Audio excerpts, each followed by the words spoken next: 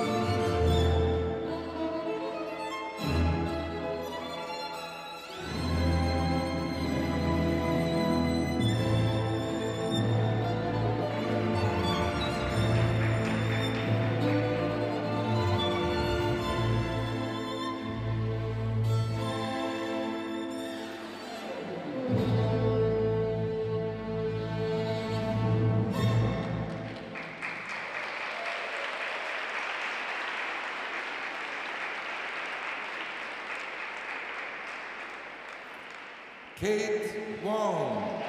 Well, there's sometimes where I don't have to search for the words, and sometimes I really have to search for the words to explain what I mean. And with Kate, it's one of the cases. It's she looks so calm and and confident and casual, and hey, this is easy. I can just do this because she gives you the confidence that there's nothing wrong out there. There's no nerves. Great quality and speed and flow in and out of the jumps. Nice presence and posture. Double axel just rides off the end of the edge through the air. As much speed coming out as was going in. And this triple toe, triple toe. You just can't get better than that. Look at the speed in between the two jumps. Just perfectly straight in the air. That's in at a 1.32 GOE, which you don't often see. There's a lean back coming into the triple flip. And just keeps that momentum carrying right through the picking process, rotation process, and on the landing as well. And here's some nice work, nice smile and stretching. Watch right here. Just to glide around, works beautifully with the music.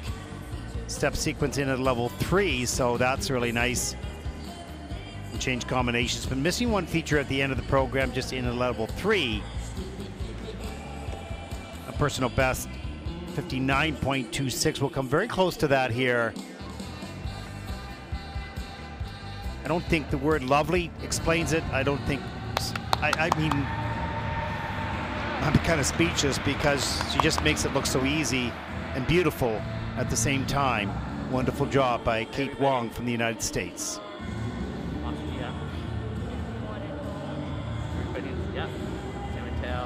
And then calmly chats with her coach in the kiss and cry. Just another day at the office.